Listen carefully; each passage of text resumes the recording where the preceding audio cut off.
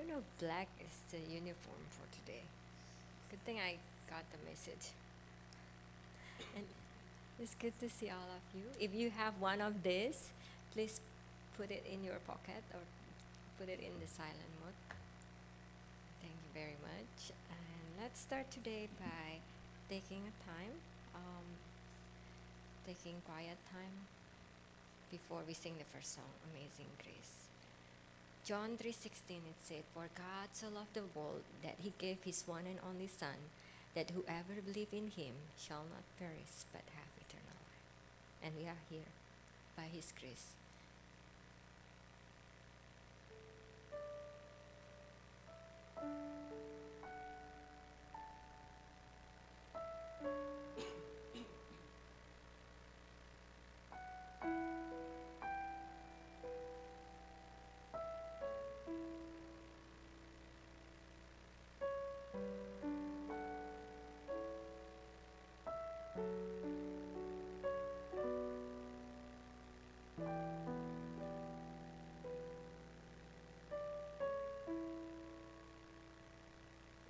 Sing this first song, Amazing Grace.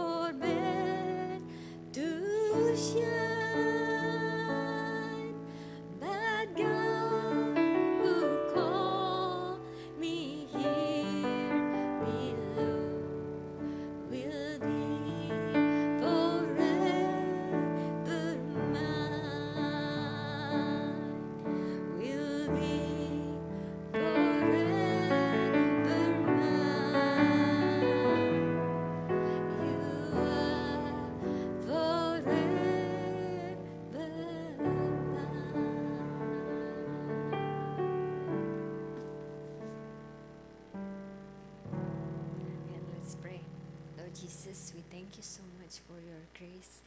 We thank you for your Son, Jesus Christ, who died on the cross to take the penalty for our sin. We thank you, Lord, that we all can be healthy today, that we experience you. And help us, Lord, as we come before you today. Cleanse us. Um, forgive us for our sin.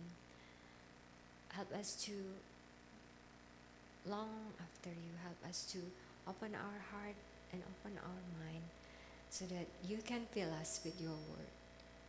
We give thanks, Lord, for your grace. We give thanks for today, for the sunshine, for the rain, for the family of Christ that you've given us. We pray, Lord, we want to lift up our worship today and we want to lift up our the rest of our um, service. May the word of our mouth and the meditation of our heart be pleasing to your sight. In Jesus' name we pray. Amen. Let's stand up as we sing the next song, 10,000 Reasons, and we bless the Lord of our soul.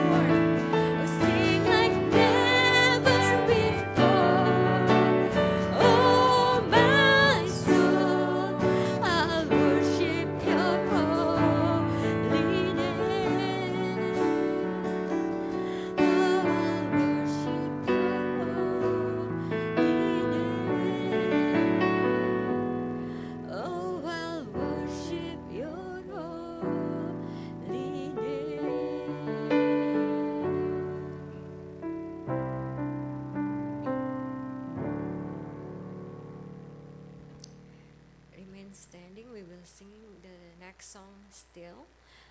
It is written in Psalm 46, verse 1 to 3. God is our refuge and strength, an ever present help in trouble. Therefore, we will not fear though the earth give way and mountains fall into the heart of the sea, though its water roar and foam, and the mountains quake with their surging. Verse 10 He said, Be still and know that I am God. I will be exalted among the nations, I will be exalted in the earth.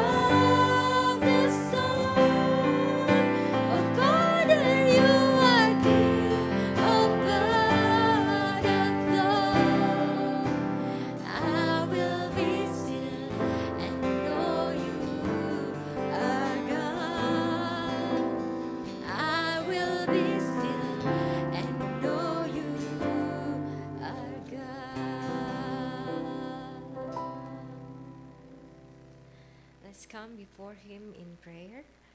Let's start by praying for our church.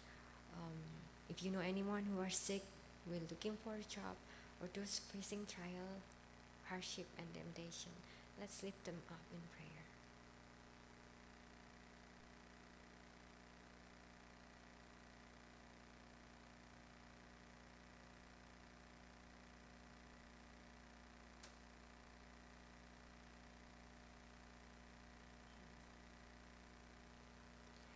Father, we want to pray for our church. Um, we pray for our friends who are struggling right now. We want to lift them up. We're facing uh, sickness, facing cancer, facing the struggle of their life. We pray that you are with them.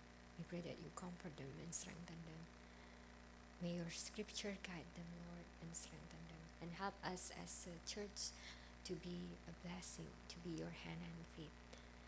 Lord, we want to live up also for the church leader, for our pastor, for the new deacon and committee, for Sunday school teacher, for our small group leader, that we may we all be faithful, walking with you, and following your word, Lord.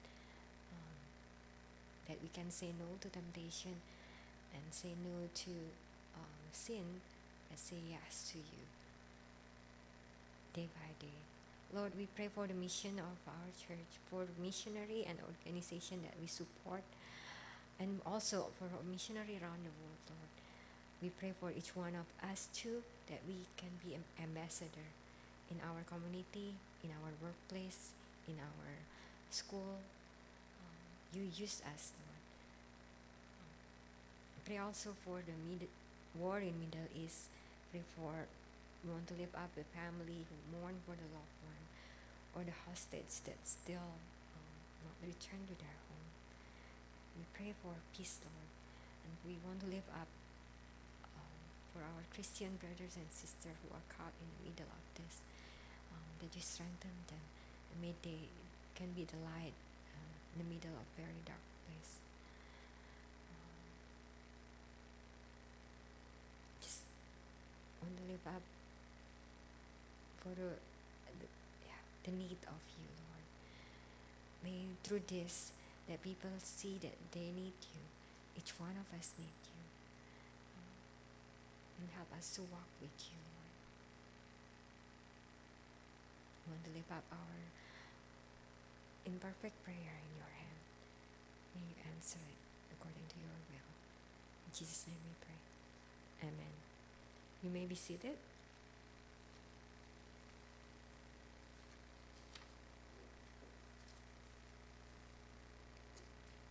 before we listen to the sermon, I'm gonna read the scripture reading for today, taken from Matthew 22, verse 36 to 40. Okay, I don't bring my glasses, so you have to help me reading this one together. Yeah? Okay, let's read it together. Teacher, which is the great commandment in the law? Jesus said to him, You shall love the Lord your God with all your heart, with all your soul, and with all your mind. This is the first and great commandment. And the second is like this You shall love your neighbor as yourself. On these two commandments hang all the law and the prophets. Amen. That's the word of the Lord.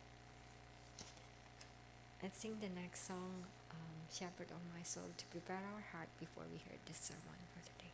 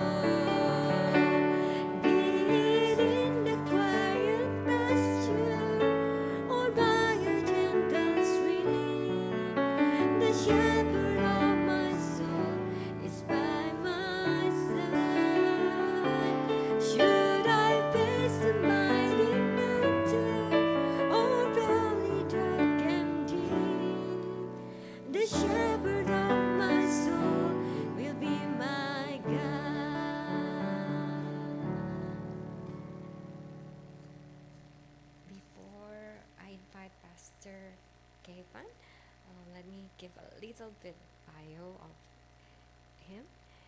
Um, Pastor Kevin Kevin Tehrani is an Iranian-born Christ follower. He's the Global Compassion Pastor at Westgate Church in San Jose and the Executive Director at Compassion Bridges, a ministry training leaders to reach students throughout the Northern California and helping low-income and refugee family with food, job resources, financial and spiritual support. Um, Pastor Kevin is married to his wife Denise with and they have three beautiful children. Alright. invite Pastor Kevin.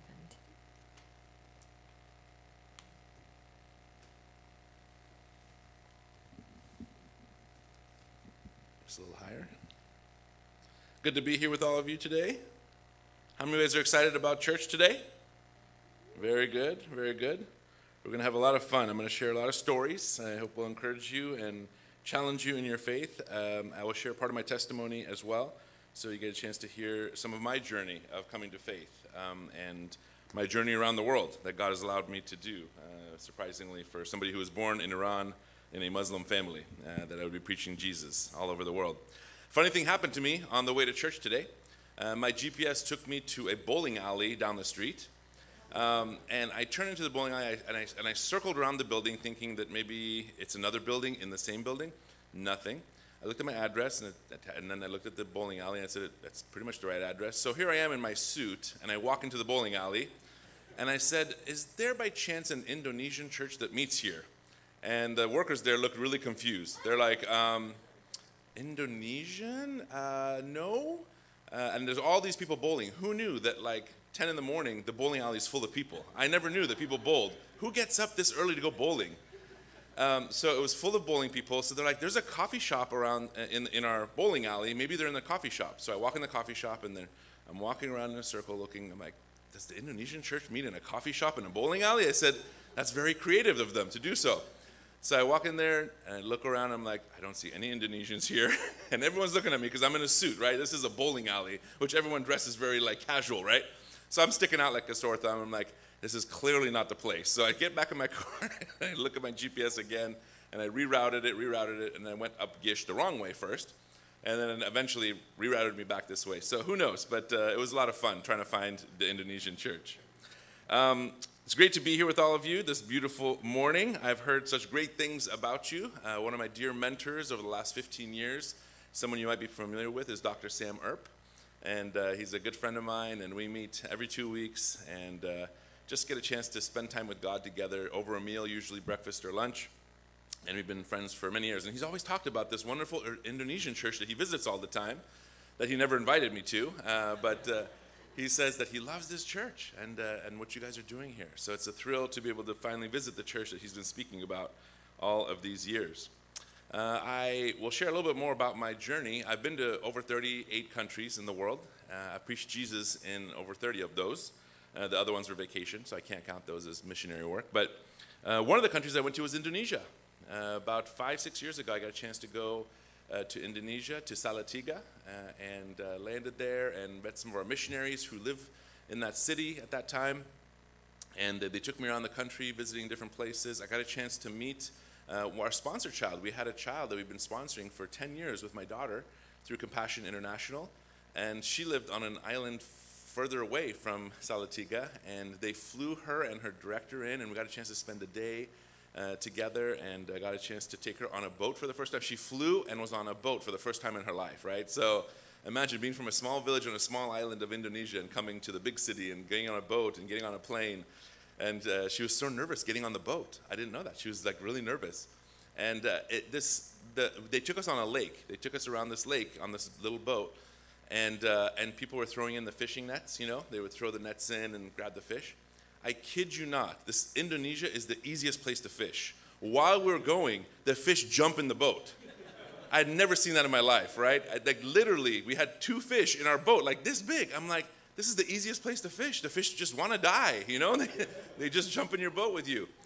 Uh, the coolest thing was I got a chance to go speak at a seminary. Uh, who knew? There's seminaries in Indonesia, right? You always hear uh, Muslims always love talking about Indonesia being the largest Muslim country in the world.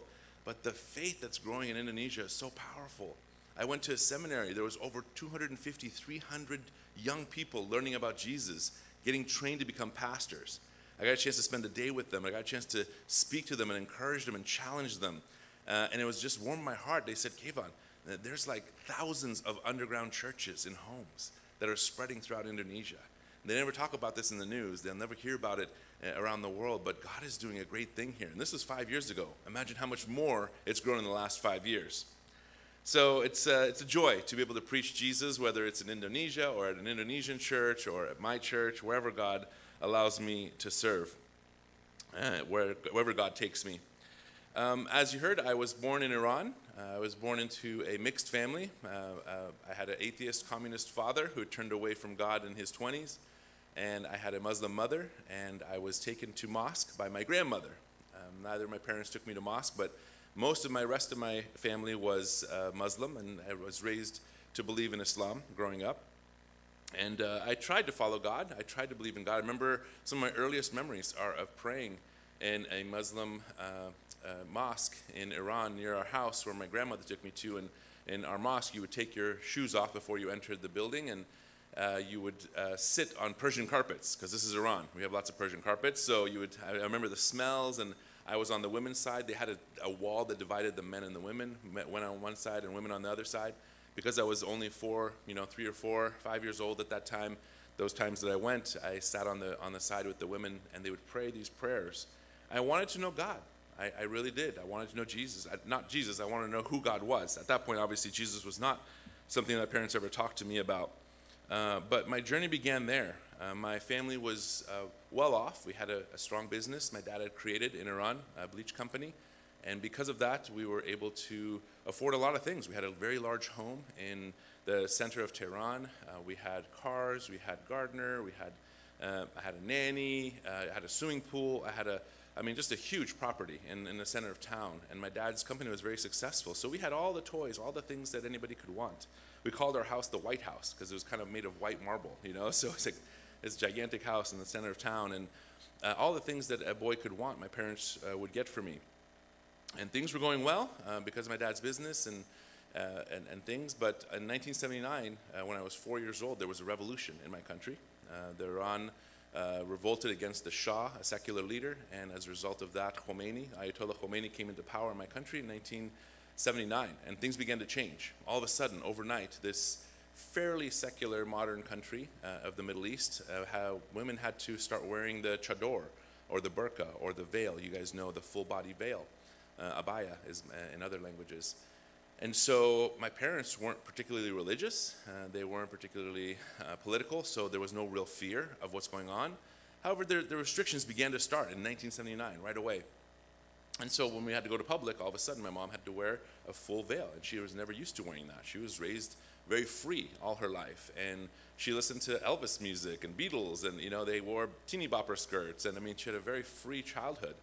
Um, and so it was very different. But for me, being a young child, I didn't notice much of that difference too much. And we thought, we'll stay here.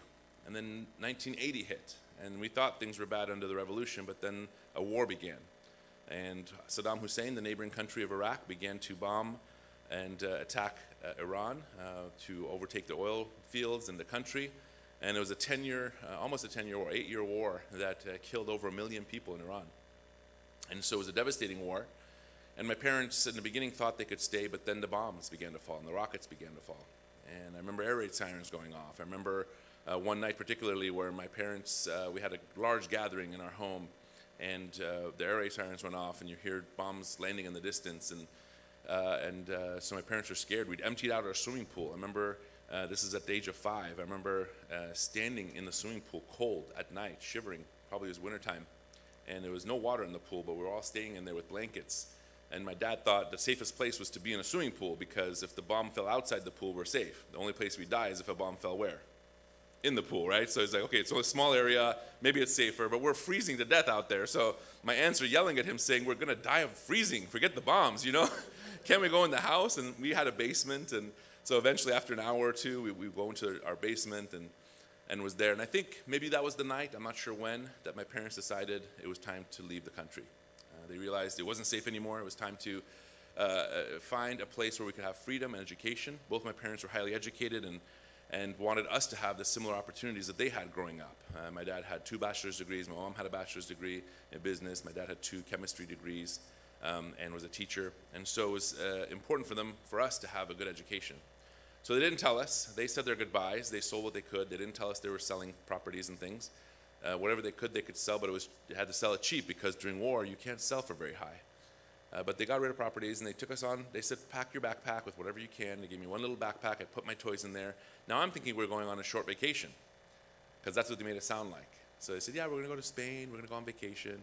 And so I didn't ever say goodbye to my family or cousins. They did, and they were often crying, but I didn't know why they were crying. Uh, I only found out we were not going back to Iran when we landed in Spain because they didn't want us, the three kids, to say anything at the airports, especially my older sister and I, uh, who were speaking. My younger sister was very small, and uh, they didn't tell us till we landed. They said, just so you know, we're never going back to Iran, and we've escaped, and we're going to stay in Spain. And we cried because we didn't get a chance to say bye to my cousins. I didn't get a chance to, uh, uh, you know, see my friends at, at school off. Uh, but that was the safest thing for them to do. So we did. Uh, we lived in Spain for a year.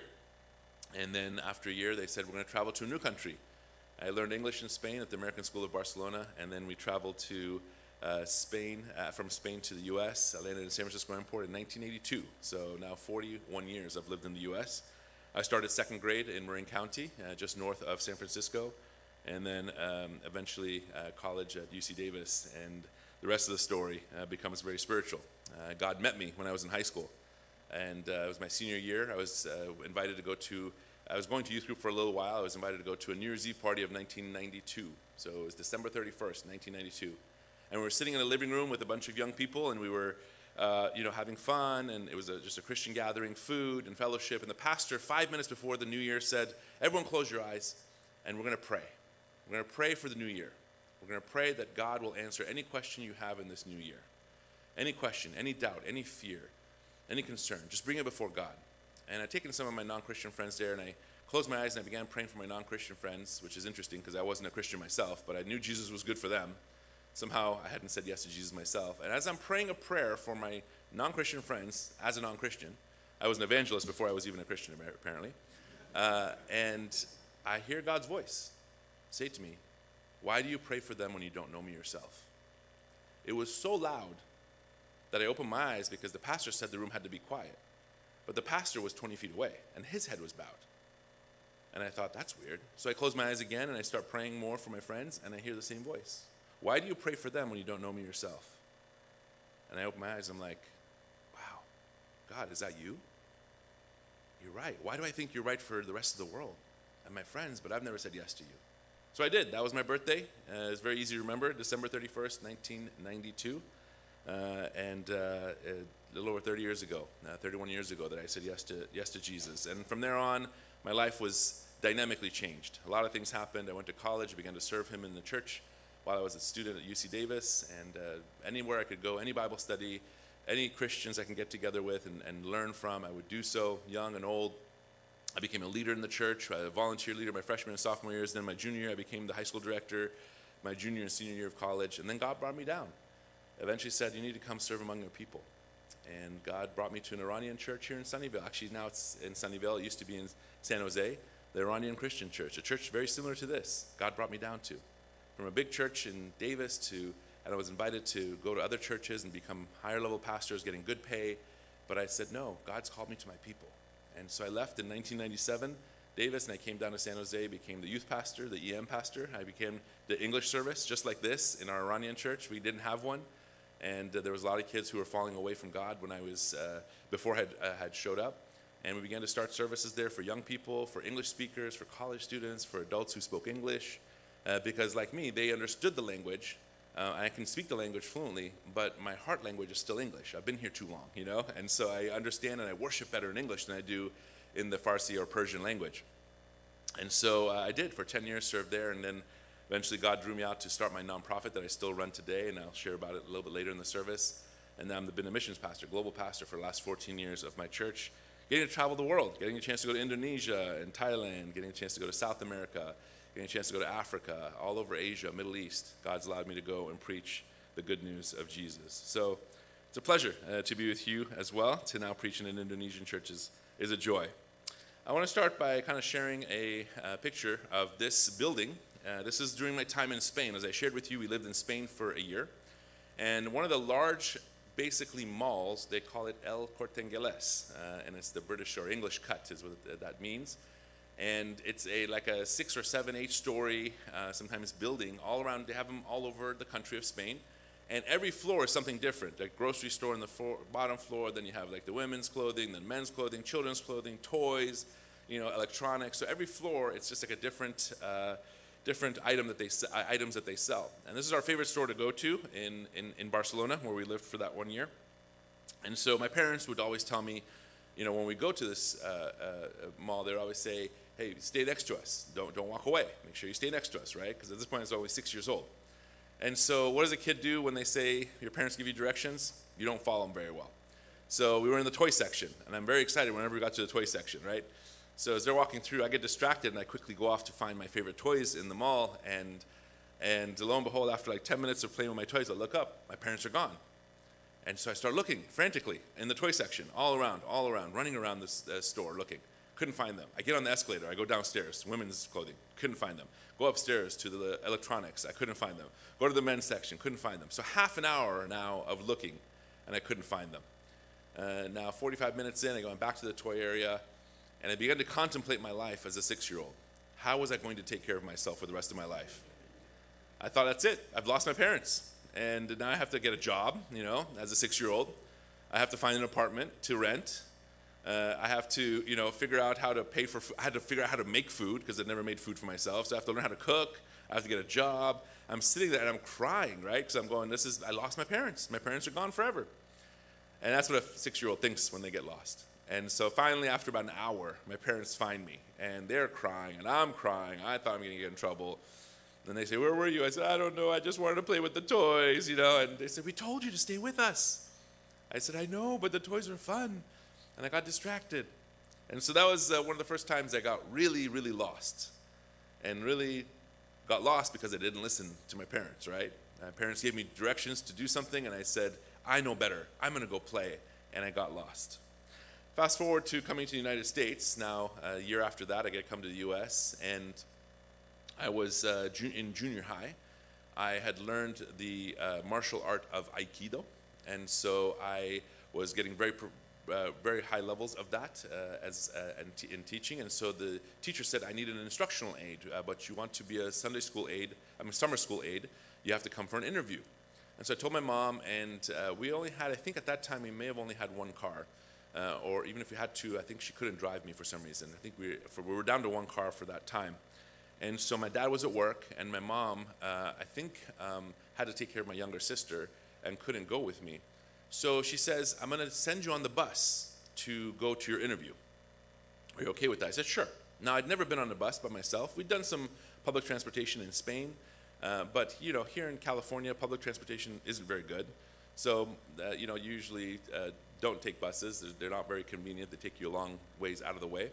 But there was a very direct bus from my house that went straight in front of my school. So my mom takes me to the bus station, which is uh, just a few, uh, you know, not too far away from my house, walks me there and stands me and says, Keivan, you have to follow my directions. I said, what? She says, you need to stand right here.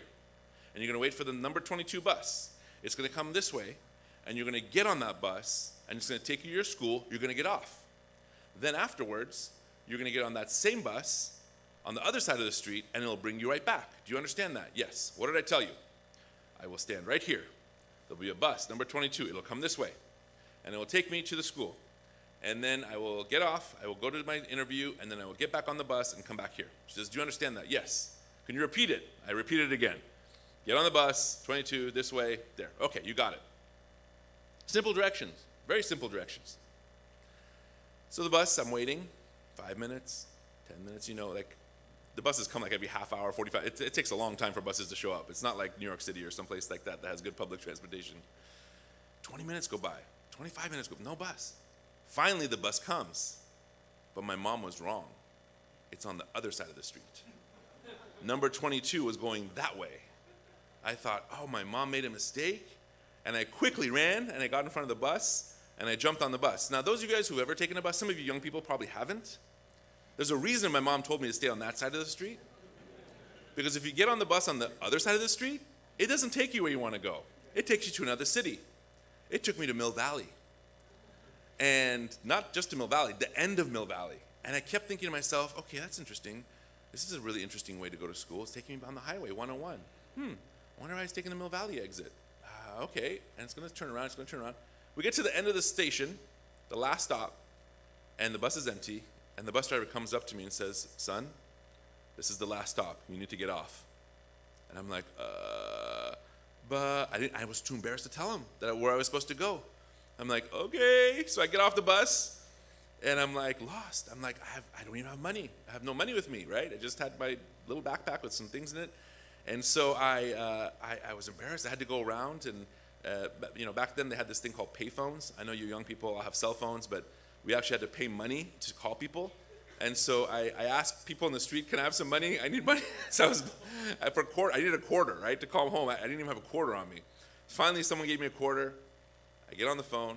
I call my, luckily I knew my phone number. That was good. Uh, I call my mom. Mom, she what? She says, I, I'm, I'm lost. She says, what, what'd you do? I said, you know what you told me about getting on the bus? I said, yeah, the bus came on the other side of the street first. And I got on that bus. Now I'm in Mill Valley. She's like, where? I'm at Mill Valley. So I think she gets my dad to leave work early to come pick her up, and then they come and go to downtown uh, Mill Valley at the end of it and pick me up. And they were so mad, and they were so mad, right, uh, that I was lost. I, I, I missed my interview, uh, so there we go. I thought I lost the job too. Luckily, the teacher instructor knew me, so I was able to get the job later. It just goes to show sometimes when your parents give you directions, it's good to listen. Uh, and, uh, and if you don't listen, sometimes you end up going the, the wrong way. And now this kind of leads us to the scripture. These stories relate to what we're going to be speaking about, which is in the book of Jonah, uh, chapter 1 through 3. It says this The word of the Lord came to Jonah, son of Amittai Go to the great city of Nineveh and preach against it, because its wickedness has come up before me. But Jonah ran away from the Lord and headed for Tarshish. He went down to Joppa, where he found a ship bound for that port. After paying the fare, he went aboard and sailed for Tarshish to flee from the Lord. Again, God giving very clear instructions. I want you to get and go towards Nineveh. I want you to go preach the gospel to the Ninevites because they've been wicked for too long. What does he do? He gets on a boat. And let's look at how far away from Nineveh that he was trying to go. Now, Nineveh, if you guys look up on the map now, is called Mosul, Mosul, Iraq. And we were there. So if you look up the city of Mosul, that's basically where Nineveh existed. So he was in Joppa, that's the port, town. He had to go 550 miles by land to make it to Nineveh. What does he do? He gets on a boat to go 2,500 miles away to Spain, southern Spain, right? That's where they believe Tarshish is, one of the places basically going 3,000 miles the opposite direction. I mean, he's trying to go as far as possible. It'd be like God asking you to go to New York City to preach the gospel to the New Yorkers who don't know Jesus. And what do you do? You get on a boat and go to Hawaii instead, right? That's about the same equivalent. You're like, why would I go to New York? New York people are bad. I would much rather go to Hawaii where there's sun, there's beaches, and uh, you know, uh, nice sand and, and lots of uh, uh beautiful uh, trees. That's what Jonah did. Jonah almost missed his bus, like I missed my bus. He was selfish, and his selfishness came because of his hatred for the Ninevites. Now you wonder why does he hate? Why does Jonah hate the Ninevites so much that he's willing to go 3,000 miles in the wrong direction? 3,000 miles, that's quite a distance to go in the wrong direction. Well, as you study in history, the Assyrian Empire was in charge. The Ninevites were Assyrian. One of their leaders was Ashurbanipal. He was a brutal leader. They would massacre the Jews in large, large numbers in very brutal ways. If you study the history of the Assyrian Empire, especially at that time, so you must read into their lines and realize why he's so mad. These people had conquered the Jews and had occupied their lands for over 700 years, destroying their culture, destroying their, uh, their temples, destroying their people, massacring children and women and men as often as they could, anyone who spoke against them. You might equivalent, the equivalent of that would be what the Nazis did in, in Germany uh, to the Jews, or ISIS, or Taliban, you name it. All the terrorist organizations and how much they seek to destroy other cultures. This is the same pressure. Imagine that the hatred that the Jews must have had in, in Nazi Germany times against Hitler. That's what it was the same feeling. Now imagine God coming to one of the Jews and saying, You need to go. I'm going to open the door for you to go to speak to Hitler. How would they feel? That same darkness, anger would overwhelm that Jewish person. Jonah had a hard time. You know, he missed his bus because of his selfishness and fear. But Jonah had a hard time receiving God's mercy for himself and for the Ninevites. Jonah didn't want the Ninevites to come to the Lord. He was too angry. He was too blinded. When he saw the Ninevites, he saw red. That anger that overtakes us sometimes. That's what it was like for him as well. It gets pretty bad because Jonah finally, most of you guys know the story of Jonah because we hear about the fish story. Uh, Pinocchio is, uh, is a story that came off of the Jonah story. And you, you, a lot of people focus on the fish story, thinking that is, that's, that's the, the point of the story is the big fish and God saving him eventually or, or rescuing him or, or resurrecting him, which is actually the correct word uh, from the mouth of the fish. The fish story is actually not the big deal. The big deal is Jonah's heart. It's about Jonah, it's about us. In fact, eventually, when the whale comes and he spits him out, which there, I believe there was a resurrection. You know, I don't necessarily believe he died in the fish's, uh, or lived in the fish's stomach. I think he died and was resurrected, just the same way Jesus was re- resurrected three days later. Three days in the whale's stomach. Three days Jesus was in hell fighting, uh, you know, uh, for uh, us before his resurrection. So you see a resurrected Jonah going finally, reluctantly accepting the call to go to the Ninevites. And he goes and he says this five word prayer in Jonah 3 4. In 40 days, destruction's coming. That's it. He goes to the Ninevites, walks around, and he says, 40 days, destruction's coming. Now, this is either the world's greatest sermon or the world's worst sermon, right? Think about it. God tells him to go and speak to the Ninevites. He says five words to them. You think he wanted them to be saved? No. He didn't explain who God was. He doesn't explain God's love. He doesn't explain Genesis. He doesn't explain uh, God's mercy. He doesn't spend time doing anything except for five words. In 40 days, destruction's coming. God's going to destroy you in 40 days. What does He want? He wants them not to receive God in their lives, in my opinion. Because why would you say such a short thing, right? I think he just walks around and says that, hoping that they would not say yes to God. Again, I think it's either the best or the worst sermon. The sad part is in the story, those, um, those who were on the boat had greater faith than Jonah.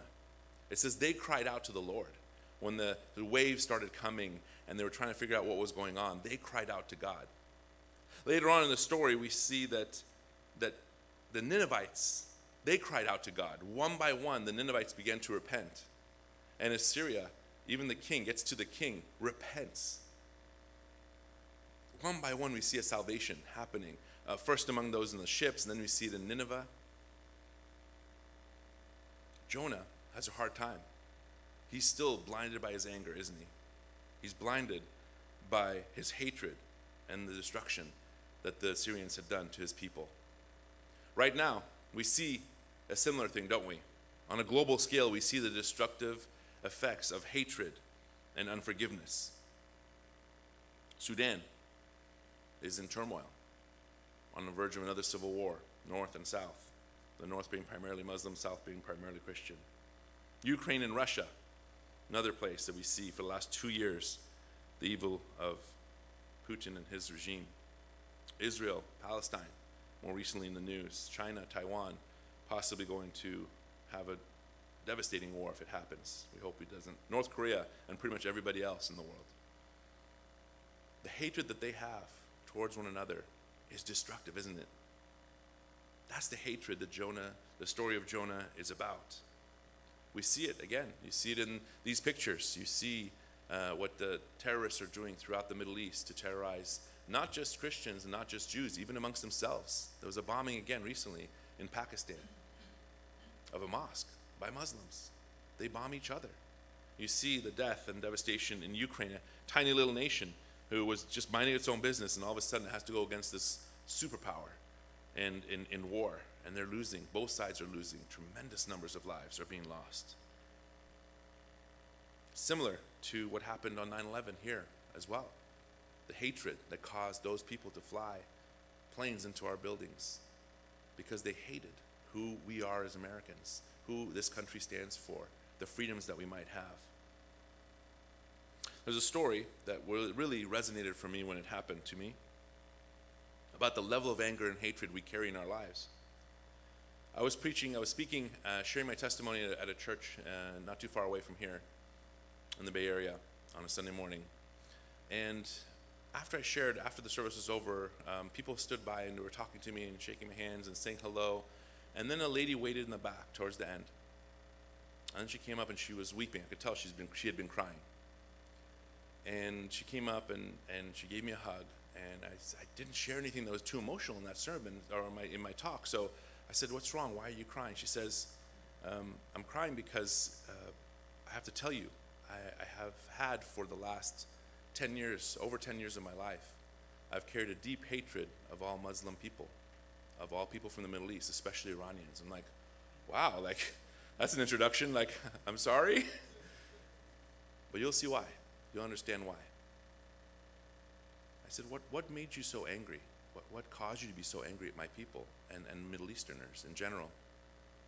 She says, My husband was on one of the planes, the plane that, that crashed in Shanksville, Pennsylvania on 9 11 the terrorist took my, my husband's life, the love of my life of over 30 years, was taken from me.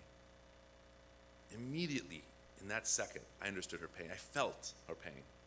Could you imagine losing your mom or your dad, losing your brother or sister, losing your husband or wife on that plane? And the hatred and anger you would want to carry against the people who did that against you. I felt it felt it, and we cried together. And she said to me, Until today, I carried this anger. And after you spoke, and I saw the work of God in the Middle East and the way you spoke about Iran, I am no longer angry. I've given that to the Lord. I know that was not from God. And I'm willing to give that up. And we cried together. We held each other. Sweet old lady who had lost the most precious thing in her life was willing to give up that anger.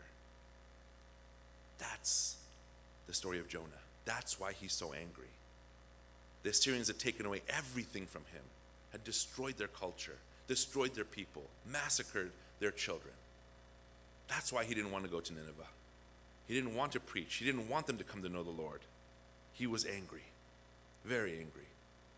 So, from this, how should we live? I believe that God has three important biblical loves that we should do. One is love God in our lives. We do that by trusting Him. Another is to love our neighbors as ourselves, as the scriptures say. To love the Lord your God with all your heart, soul, mind, and strength, and love your neighbor as yourself. Another is to love one another. These are three areas that God challenges all of us all the time. How do we defeat this anger? By understanding the three loves. How do we overcome that bitterness of, of, of hatred between cultures? By understanding and embracing these three loves loving God, loving our neighbor, loving one another. Acts 1 8 says, But you will receive power when the Holy Spirit comes on you, and you will be my witnesses in Jerusalem, Judea, Samaria, and to the ends of the earth. God says it's not going to be you, it's going to be the Holy Spirit that's going to empower you to share God with your neighbor. It's going to be it's going to be God who's going to come in, the Holy Spirit who's going to enter you to be able to give you the power to go into the world and share Jesus. We see in Matthew 22, as we saw earlier, 36 through 34, the greatest commandment is love the Lord your God with all your heart, soul, mind, and strength, and that's the first and greatest commandment. The second is to like it, to love your neighbor as yourself. All the law and the prophets hang on these two commandments. To love your neighbor as yourself. And also says in Galatians, this is the third one, Galatians 6:10 says, Therefore, as we have an opportunity, let us do good to all people, especially those who belong to the family of believers. I believe this. It's fairly easy to love God. That's what initiates our belief that there's a higher power, a higher being. Most of us believe, yes, I will love God. I love God. And then loving our people around us, you know, loving one another. Those in the, in the believing body of Christ, as it says right here, those who belong to the family of believers, love them. It's not too hard to love those who are like you. It's not too hard to love those who believe the same things you believe. What's hard is that middle one, isn't it? To love your neighbor as yourself. That's harder, isn't it? What if your neighbor hated you? What if your neighbor was angry at you? What if your neighbor despised you? God says to love them. Think about how hard that would be. And the place that Jonah was when he had to preach the gospel to the Ninevites. But still, I believe that as a church, we can do this. God wants us to love all three God, our neighbor, and one another. Viktor Frankl says this A small and inadequate faith is like a small fire, it could be blown out with a small breeze. True faith, by contrast, is like a strong fire. When it is hit by strong winds, it is fanned into an in- inextinguishable blaze. If our fire is big enough, the winds come, it doesn't go out. What does it do? It spreads. And it spreads to other places and other peoples. God can do a wonderful thing. I believe this. If we practice uh, the three loves, that God can really transform us in the church. We can't just pick one or two. We got to choose all three. God says, love your neighbor. God says, love one another. And God says, love me. Do we do that? Do we try to do that? Now, in 2021, this hit my family. Uh, we were watching on TV the uh, destruction uh, of Afghanistan uh, a second time, a third time, really. We see the pullout of the U.S. troops, and we saw, you guys saw just a couple years ago, the people trying to grab onto planes and jump on planes just to escape and get find freedom. These are women, children, moms, and dads were handing their babies over the wall, hoping the babies would find uh, freedom. They couldn't get themselves through, but they were handing, and the soldiers were picking up babies and taking them in. Uh, the women, that's how desperate it was getting. It was really bad those last few, those last few weeks uh, in Afghanistan in August of 2021. I was watching this, crying with my wife, and it really hit me hard. I'm like, I can't believe being in this situation after 20 years of U.S. being there, now pulling out. Look how, in, in a matter of like three, four weeks, the Taliban retook the country. It was, it was crazy.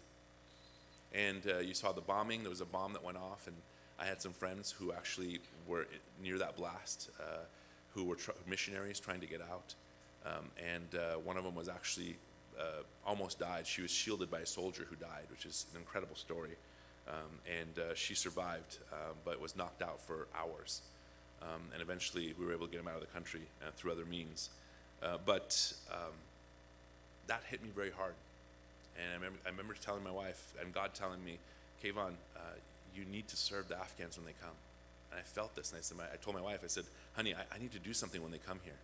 Now, the Afghans and Iranians are neighboring countries. We speak a similar language. I understand them, they understand me. It's about 90%, 95% the same. They have 5% different words, as well as Iranians have 5%. It's a dialect of Farsi, the language Dari. Uh, but it wasn't just because of that. I just felt something that God resonated in me. Now, I'd never worked in my life, I'd met like three, maybe four Afghans in my entire life. Uh, I'd met thousands of Iranians, but I'd, and, and the few Afghans that I'd met with, two of them were half Christ, were Christians, half Iranian, half Afghan. So I mean, I really, I'd really known one Afghan, pure Afghan person my whole life. And here God's saying, work among them. Where are they? I don't know. How, how do I work on them? I don't know. But God says, do it. What I didn't realize was when God told me this, that there had been a history of bad blood between Iranians and Afghans. They had conquered each other, and Iranian Empire, Persian Empire had conquered them, and uh, there was this uh, little bit of uh, jealousy among the Afghans because the Iranians had a larger country and military and technology and all that stuff, and there was just there was not a good blood between these Afghans and Iran. I didn't know this, but God's telling me to work among them. How do you do this? I don't know. I get a call one day, Keivan, we need your help, and I'm like, who is this? They go, hey, uh, we there's a family we worked with at a base.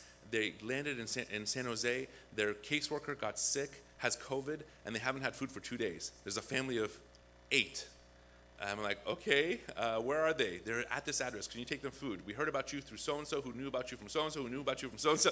So like three people removed, they found out about me. I said, okay, I, I, give me their number. I get their number.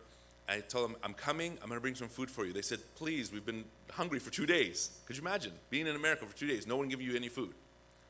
And so I went and shopped like three, four hundred dollars worth of groceries from uh, ethnic shops, and I delivered the food. I went there and I saw them, and all of a sudden, this family of eight is there. But not only a family of eight, there's 35 Afghan families in this hotel.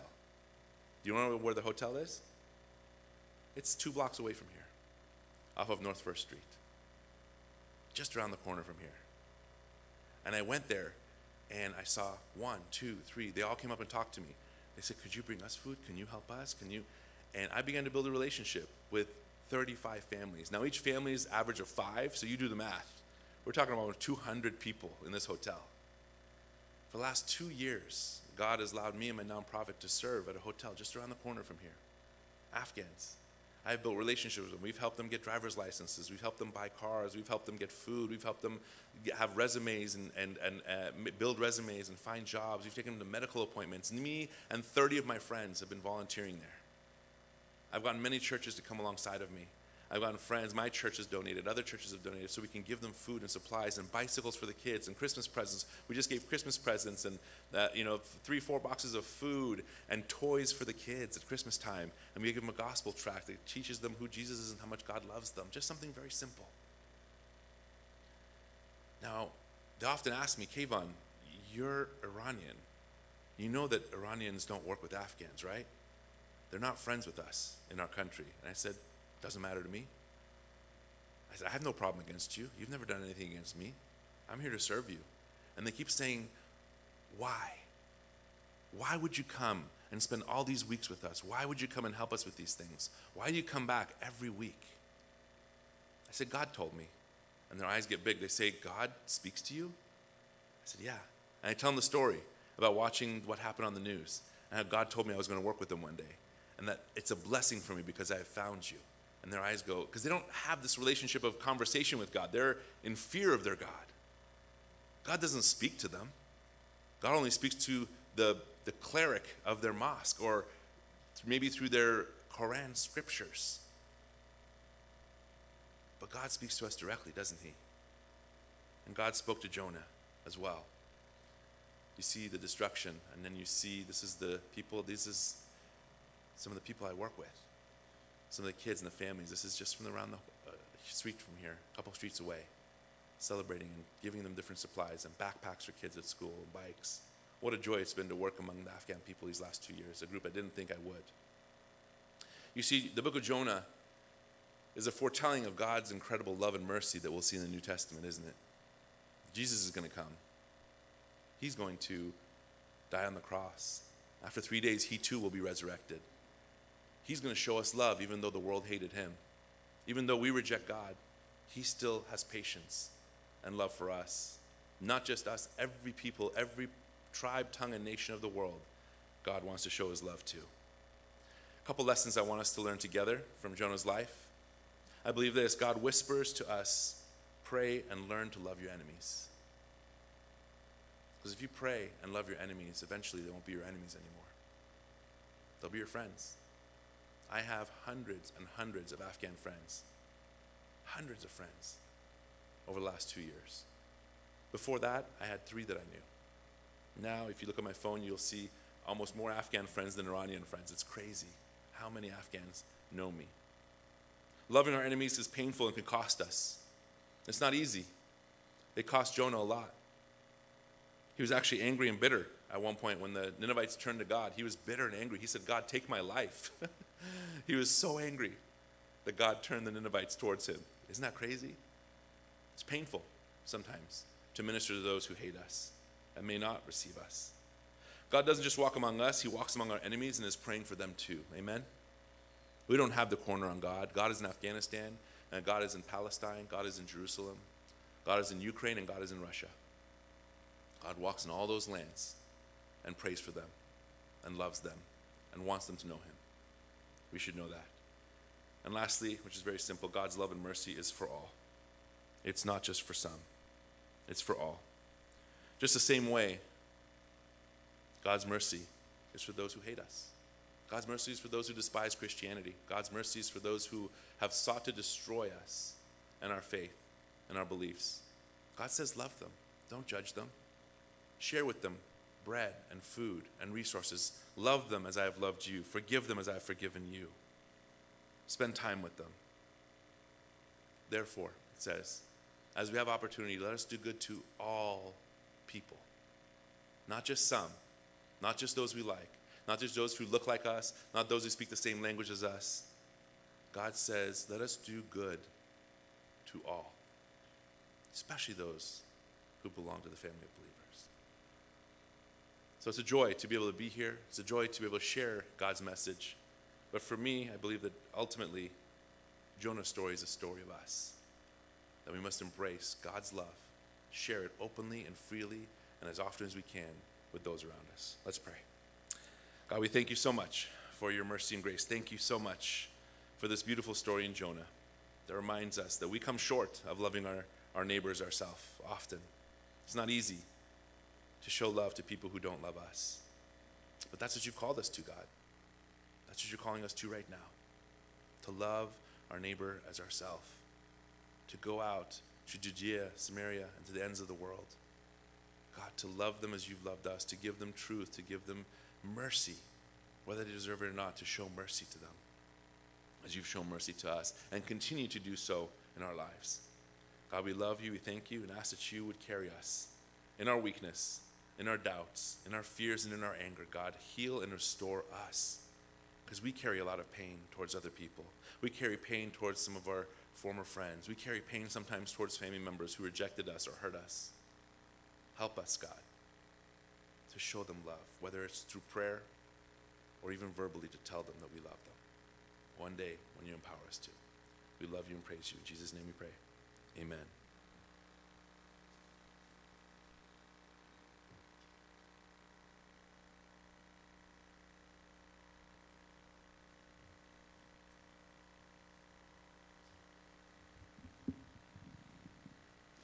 Thank you so much for the message for today. Let's read together our uh, scripture reading, uh, our memory verse for today, taken from Galatians 6, verse 10. Let's read it together two times. Therefore, as we have opportunity, let us do good to all, especially to those who are of household of faith. Let's say it one more time. Therefore, as we have opportunity, let us do good to all, especially to those who are in the house of faith. Amen. That's the word of God. Let's prepare our heart for the offering. We will sing the song uh, Shepherd of My Soul again.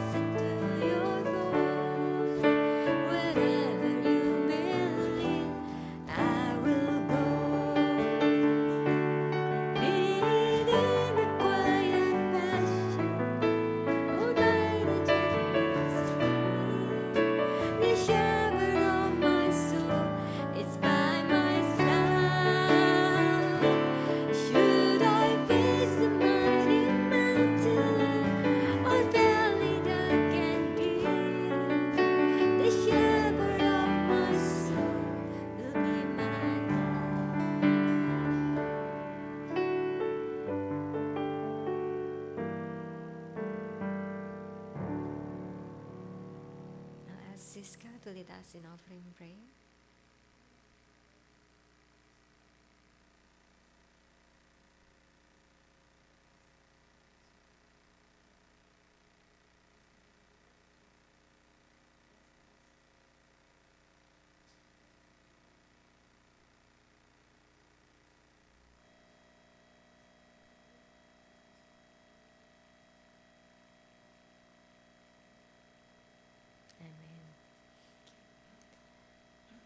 Continue with our um, announcement. We have a few announcements. We want to welcome if any of you new, first time come to IAC. If you have any question, you can contact us um, regarding any small group or um, ministry. Um, we also have a, a fellowship and and um, some snack to eat after this. So please come and stay. Um, is this for Pemuda or for ne- oh next Sunday? Next Sunday will be with Reverend Michael Boylan with the title "Built to Last" with Livingstone. Oh, Pemuda will be. This is very good. We just saw it with, with the kids. Um, movie night, uh, Sound of Freedom. Sound of Freedom. So come and join the Pemuda, the youth fellowship, at 7:30 this Friday. Um, yeah, th- we have the link to give from sale to, um, or if you bring the check, you can give it to the door. Um, on the way in, there is uh, the scanner for the church bulletin, so we no longer print it. Um, if you prefer, you can just scan it on the way in. Next, starting next week. I think that's it. Anything else? I think yeah. Um, yeah, let's close it. Let's stand up. We're gonna sing benediction, and then I'll ask Pastor Keivan to lead.